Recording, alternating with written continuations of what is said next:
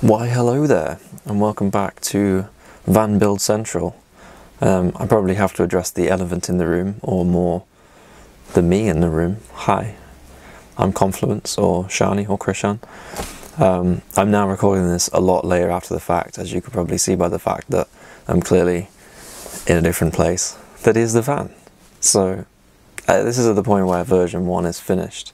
But we're going back, we're going back in time now to when I did the rear right wall, which was in preparation for basically getting the electrics together to make sure that I'd not messed up any of the wiring, because I was pretty nervous about that. Um, being the first time I've done anything crazy and big and electrical like this, I kind of wanted to prioritize it, which I don't think was the, a bad choice because it was quite a big thing that needed to fit in and all the knowledge was in my head ready and raring to go so it kind of made sense to just get on and do it.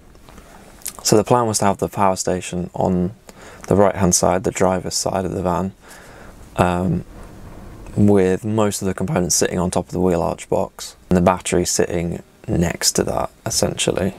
Try and keep everything as close together minimize the use of really expensive cables. It's always a good thing. Before I started this, I also popped in some conduit for the strip LEDs that I was planning to use, which I still haven't actually installed. So that's just kind of still hanging out. There you go. Sometimes it's like that, I guess. So I started with the insulation for the wall, which I used 50 millimeter Kingspan in relatively small segments. I basically assembled it just like a jigsaw puzzle, kind of using what bits I had, using some new stuff, trying to be optimal because at this point I didn't really know how much I had relative to how much I needed. I had calculated it and bought it all last summer, so it was quite a long time ago. And my hands just appeared. yeah, I was trying to trying to be optimal, and I essentially like friction fitted this Kingspan across the entire wall before I stuck anything in place. Once it was all friction fit, I got out the spray foam gun, and attacked it with that and actually stuck everything in. And again, like before, I really had no reason to be worried about the spray foam. It really wasn't that big of a deal. It's actually kind of fun to use. It works really well to stick everything in place. Yes, it can be messy. Yes, it's a bit a bit dangerous. Wearing gloves is a really good idea. Uh, wearing clothes you don't care about is a really good idea. But really, it's it's pretty cool stuff. It does a really great job of sticking insulation board onto walls or just together into panes. Once it hardens up, it becomes really rock solid. And I'm actually glad that I insulated it that way in the end because both its heat and sound insulation properties are really solid. Uh, I don't think there would have been a better way to make my van wanting that sound insulation and decent heat insulation uh, any other way even a layer of pure spray foam I don't think would have given me the same sound insulation properties so I'm really happy with the balance that that struck. Once all that was in place and hardened up or even while it was hardening up I went to cut down my sheet of 3mm plywood which is really nice and bendy uh, which I decided to use for the bed area. Bendy and thin to basically maximize space for the bed because I wanted the absolute maximum possible that I could that I could feasibly produce. Uh, but I had two full sheets, so I had to cut it down to the size of the wall, the height of the wall essentially.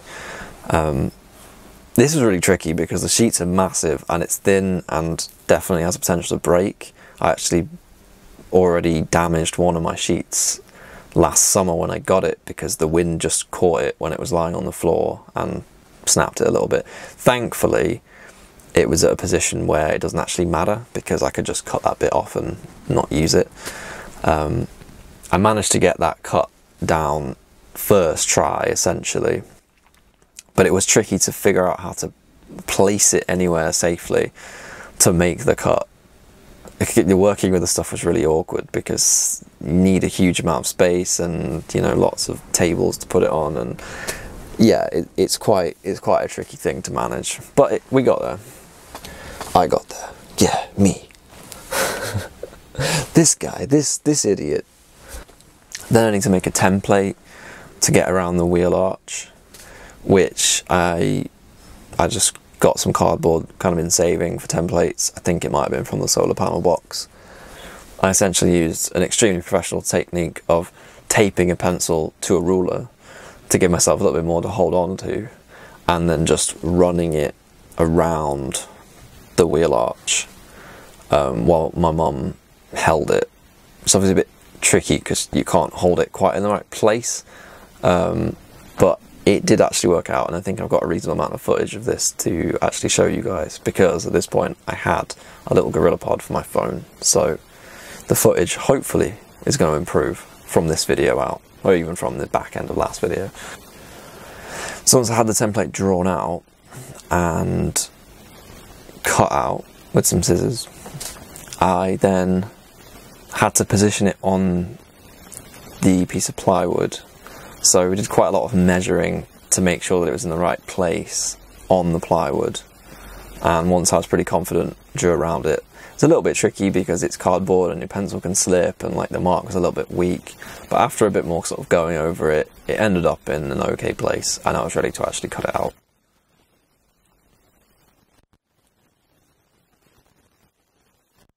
I managed to mount it up on, I think, a table and my workbench to cut it out. It's pretty awkward, but I got through it. In hindsight, I should have given myself more leeway. I should have cut more off because a little bit extra was a lot worse than a little bit less. Because unlike most of the other wood and the other bits, other thicknesses of plywood, uh, this stuff really didn't like being shaved. Like it had a tendency to just split. So cutting it down more really had the possibility of kind of ruining the whole thing. Um, I did have to cut down a little bit more after initial test and then I decided I was happy with it. It actually wasn't really small enough even then. I probably should have just bit the bullet, taken it out and cut it down further, but I didn't, so I ended up kind of hacking a little bit more of it out with a hacksaw, very appropriate. Um, it's not appropriate at all, don't do that. I really don't recommend it. Um, but essentially like there's ribs along the wheel arch box, much like there are along the roof, uh, or not the wheel arch box, along the, the wheel arch, the, the metal for the wheel arch. And it was catching in a few places there. So it was just, it could have just been done with, you know, maybe taking like another 10 millimeters off it all the way around, just so it fit a little bit better.